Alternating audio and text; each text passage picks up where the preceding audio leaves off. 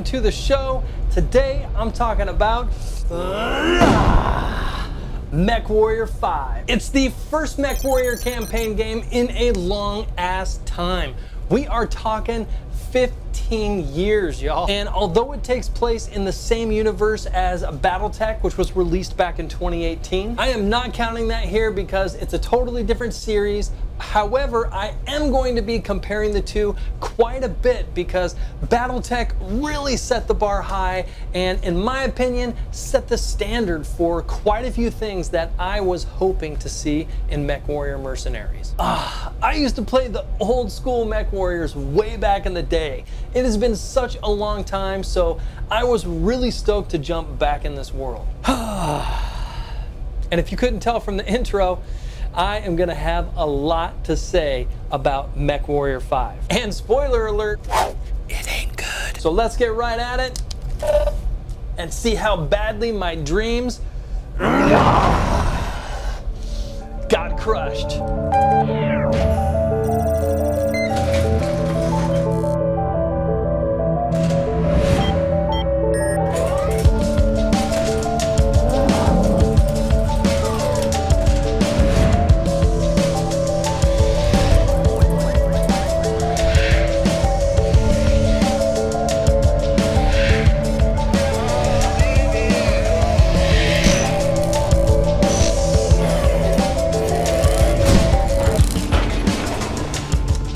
In, y'all. And when I was a young lad, Mech Warrior was one of those games that just felt so good to play. You hop in into a powerful mech using badass weapons in an awesome sci-fi universe. It was a kid's dream. I loved it. I would just spend hours drifting off into fantasy land pretending that I was a mech pilot. It was awesome. So fast forward, it's been over 15 years and we are returning to the MechWarrior franchise. it's incredible. All I could think about before playing it was recreating some of the experiences that I had when I was a kid, except now I could only imagine how beautiful it would look, how cool of a story it could be, and how good it would feel to just smash around in my mech and destroy shit all over the place. I had my hopes high, y'all. and that's probably why it hurt so damn much when they came crashing down. Let's kick things off with the gameplay. Let's start with the good stuff, because honestly, there's not much of that to cover here. If you have any interest in a MechWarrior game, at the most basic level, it's because there's a part of you that either enjoys controlling, strategizing, or fighting in a game using mechs, or at least the idea of doing so. And this is actually one thing MechWarrior 5 does well and kept me playing for as long as I did. Traversing and jump jetting across the landscapes, both in first and third person, feels really good. I could feel the weight of each mech based on their tonnage, which ranges from light and fast to extremely heavy and slow, and there's a ton of different mechs to use in each weight class. The movements, aiming, and just being in your mech, especially in battle with your squad of Lancers, is an awesome feeling. They added in just the perfect amount of resistance to every torso adjustment when looking around or aiming, making them feel big and heavy and strafing left or right while shooting at any other angle, while having to track when to adjust your mech's legs to realign back up with your upper half was really well done. There's just a cool feeling I get from actually controlling a mech, which I was hoping for and really happy to see. There's also a plethora of weapons ranging from short to long range missiles, lasers, machine guns, flamethrowers, and ballistics, which were all fun as hell to use and made it a joy to fight in the game. Overall, it felt like I was in a mech, which was great because you spend most of your time on the battlefield using them. So they at least got that part right. I also got to give props to how you're able to give orders and control your squad of Lancers. After you grow your merc business and start making enough dough to hire other pilots and purchase mechs for them to use, you'll be able to take a team of three other Lancers with you out onto the battlefield. As a full squad or individually, you can give them orders to either follow you, move to a specific location, or attack a particular target. And without a doubt, y'all, using my mech and ordering my lancers around the battlefield to complete contracts together was the coolest part of the game for me. So props given where props are due. These aspects aren't perfect though. Firstly, the list of squad commands that are available to you are limited in my opinion. For instance, I would have loved to see a roam or scout command for my lancers. There were so many cases where more options like these would have either given you more strategic options or just made doing missions riskier and more fun by splitting up to try and finish a contract. At the end of the day, these limitations just broke immersion for me because I couldn't help but think about how I wished I could do those things in the game so often. Executing more advanced strategies or simply doing shit differently in the game to finish missions just isn't possible with how limited the mechanics and commands are, and it didn't take long each session that I played for the fighting to feel really surface level.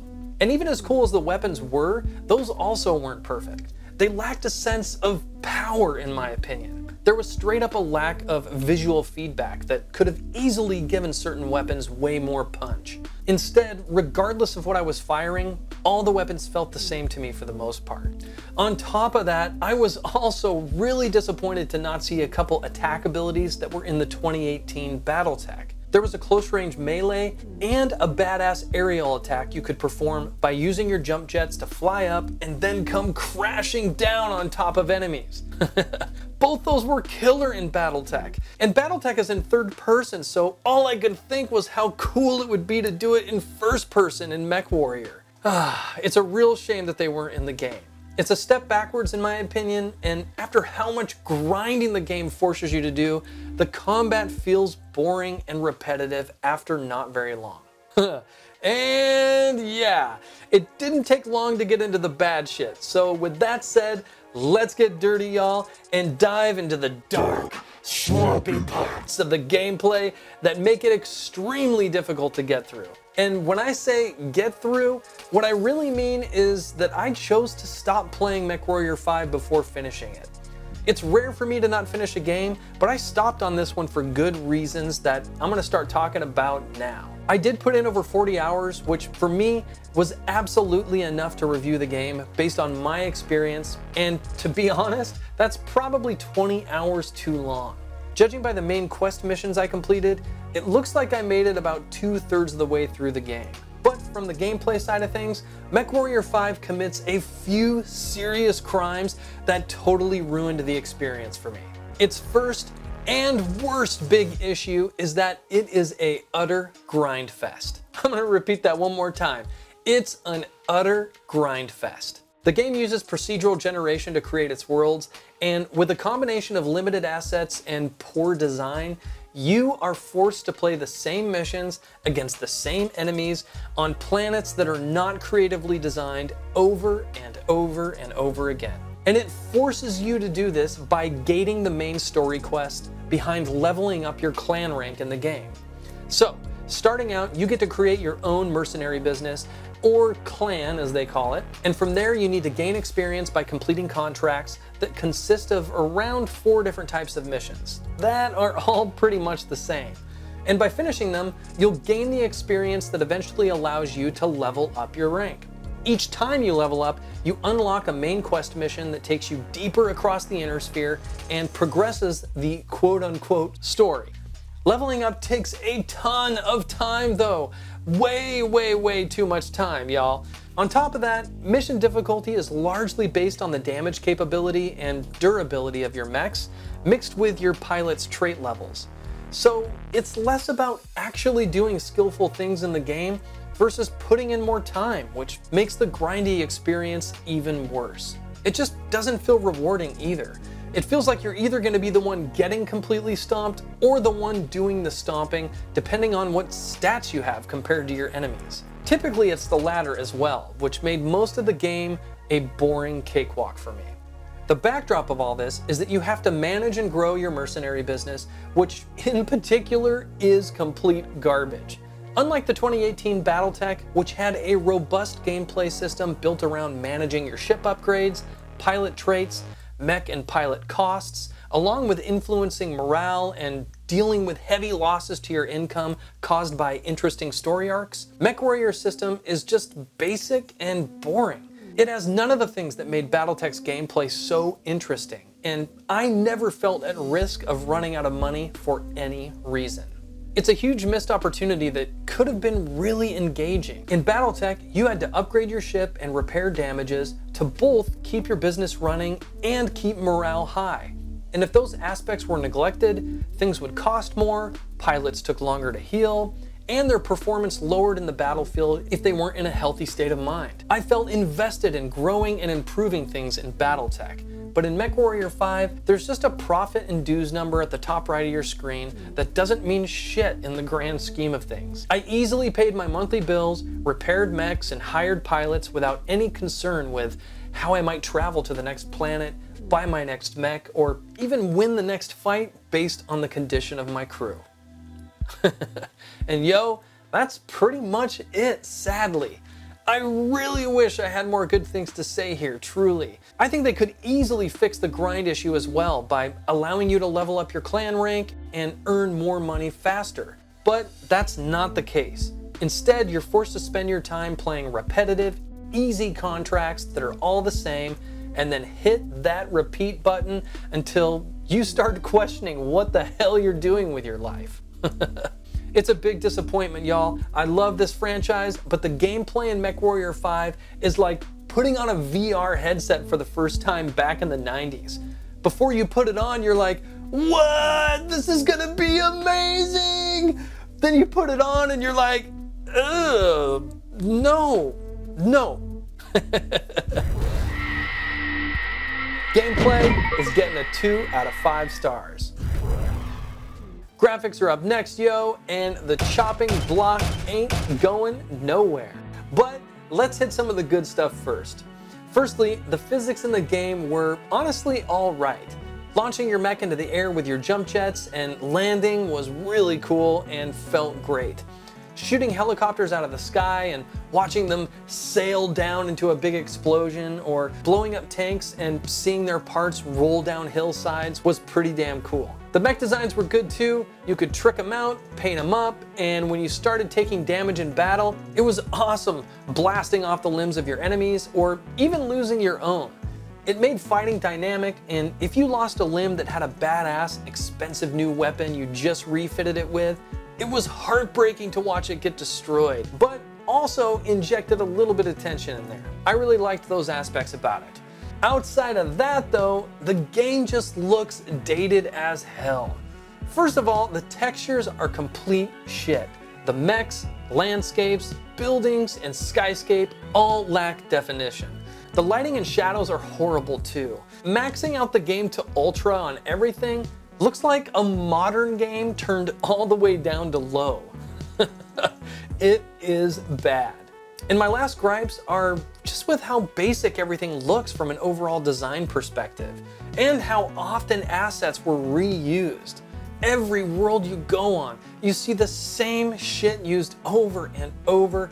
It's all super simple, and it just feels lazy to me. And the game is huge with an endless amount of planets that you can go to and do missions on.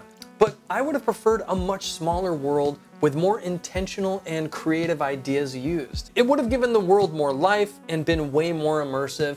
Instead, it's oversaturated with bland and ugly assets that are copy and pasted all over. Graphics are getting a 2 out of 5 stars. All right, audio's up next, and let's keep the trend rolling and start with the good stuff. MechWarrior 5 does have some good sound effects. The mechs sound awesome, first of all. Stomping around and the horizontal and vertical movement sounds of your torsos were all well done. The weapon sounds and explosions in the game were alright too. But here again, it's a total nosedive beyond that. Starting with the music, for me at least, it was horrible. Not in how it was written or sounded either. They actually used some heavy riffs that were jamming pretty hard at times, which I love. And in the beginning, I did like it. Eventually, however, I straight up had to turn it off because it was almost always pounding some heavy shit into my ears. It just didn't fit over half the time and took me out of the world by killing the vibe, unless I was in battle. Specifically, it hardly had any dynamic to it by not giving you space to breathe and take in what was going on in the game by using a variety of different music to capture a scene. There was never a feeling of building suspense before a fight or even panic if you started to lose one. It was just a constant wall of hard rock riffs that got super annoying. Music should complement the gameplay, but MechWarriors more often than not just got in the way. On top of that, the character voice acting is complete shit, yo. Outside of Elias's parts, who you'd no doubt recognize from doing Adam Jensen's voice in the newer Deus Ex games, other than that, they were horribly executed. And the worst offenders were the voices that you had to hear the most your own character and the crew on board your ship. I felt like I was listening to voice acting from the first Far Cry. Hello? Are you there? Pick up the radio if you can hear this. I know you're there. I've been tracking you since you and Val arrived. Who are you? I'm the guy who's going to tell you how to survive. Call me Doyle. How do I know I can trust you? Well, for starters, how about the fact that I haven't turned you in? I wish we knew who was protecting Inferno. Maybe then we'd have more answers. It wouldn't hurt, I'll give you that. Right now, I suggest we take these assholes down a peg by accepting the contract and kicking their ass. Hell yeah. I thought you'd feel that way. I'll prepare the mission briefing, while you work on getting us to the Cole Harbor system.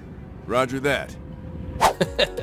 it was just bad and another missed opportunity to do something captivating. I'm giving audio two out of five stars. Next up is the story, and shit! Where do I even begin? We have hit rock bottom, y'all, and despite all the grinding the game forces you to do, if the story had just been something unique, something captivating, or something that made me feel anything other than anger for having to grind so long for what felt like a slap in the face, then there may have been something more in this game for me. Sadly, though, the characters are hollow, the writing is at a fourth grade level, and the plot delivers like finding the perfect skipping rock, throwing it, and watching it slice into the water without a single skip. Basically, the story's based on avenging your father's death by going after a group of terrorists that killed him while trying to find some mysterious coordinates they tried to get out of him before knocking him off.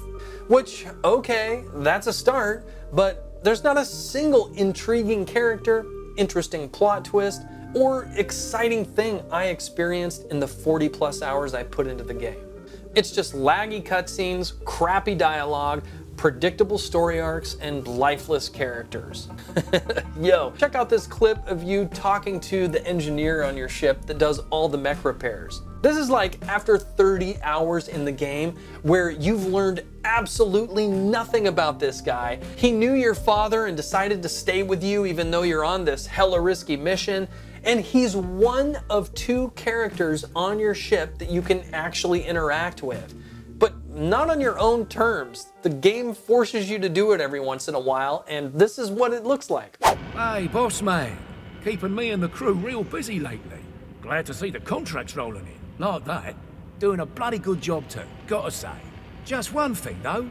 You and your fellow pilots might want to dodge the enemy's fire a little better, eh?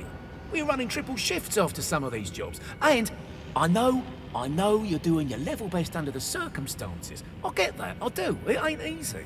All I'm saying is, try to bring the mechs home with all their limbs still attached. That's not too much to ask, is it? No, it isn't, mate. It's pretty bloody reasonable, I think. Well, there you go. Some friendly advice on the house, Gov. Gonna get back to work now. Catch you later. Just garbage. The devs clearly checked a lot of boxes here. They made a list, put boxes next to them, and those boxes got checked the off. I didn't finish this shit story, and I am damn happy not to. Story is getting one out of five stars.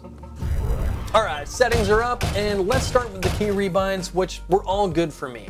I rebound everything on the keyboard using WSAD, ESDF, and the numpad with no issues. My only complaint here though is I tried to use my joystick and the game only supports one type of joystick. Thankfully, the community put out some other joystick commands that you can add into the game's directory files. Unfortunately, since it wasn't built to support mine and many other models, I just found that it didn't work great. I know the joystick community has got to be pretty damn small, but if there was a game to do it in, this seems like the right one. The mechs in the game literally use joysticks to control them, so this was a bit of a disappointment. Video and graphics settings are up next, and these were all good. Everything is here, and honestly more than what you need to tweak the game to your liking. You can probably run MechWarrior 5 off a pretty old rig as well. It does run off of DX11, but the minimum GPU spec is a Radeon R9 290X, which released in 2013, y'all. Maxed out, the game looks like it's from 2013 anyway, so no issues here. Mm, kinda. Moving on to audio, these are great. You get all the necessary settings to create the perfect mix however you want. And let's close it out with gameplay settings, which were okay. You get some standard stuff along with a few mech mechanic settings. However, they were missing colorblind modes, and there's also only four language selections, which seems strange to me. There's no Spanish or Mandarin, which is disappointing. So they getting dinged there for sure. I'm giving settings four out of five stars.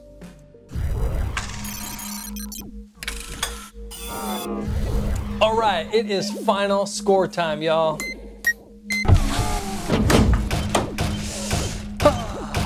Needless to say, MechWarrior 5 was a huge disappointment to me. It was a major step backwards from the 2018 Battletech, and it completely fails to stake a claim for anything original or memorable in my opinion. Other than driving me completely freaking mad though. I'm giving it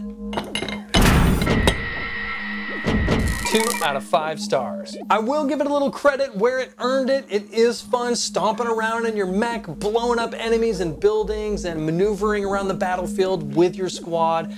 I did have some fun with that. It definitely kept my attention in the game a lot longer than I was expecting. But it's not amazing, y'all. It's only okay. And it's really disappointing because I think they could have done so much more to be innovative and creative. And they failed all over the place, y'all. It looks like shit. Running your business is boring. All the planets are the same. All the enemies are the same. All the missions are the same. Oh God, and I can still hear those guitar riffs and the voice acting. It's an utter grind to get to story missions that just end up totally sucking. MechWarrior 5 straight up does not earn the right to demand the amount of time that it requires from you. So, if you're not a fan of mech games or never played them before, stay away from this one, y'all. Far, far away.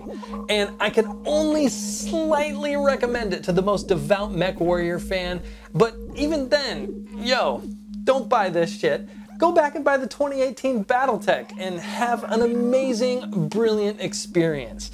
Because unfortunately, you're not gonna get that here. All right, that's it, y'all. Thank you so much for tuning in. You could have been anywhere on YouTube, but you kicked it here with me, and I appreciate you so much. Please like, subscribe, and leave a comment below. It really helps me out, and I would love to hear from you guys. Thanks again, and I will see you on the next Gurhm's Garage. gg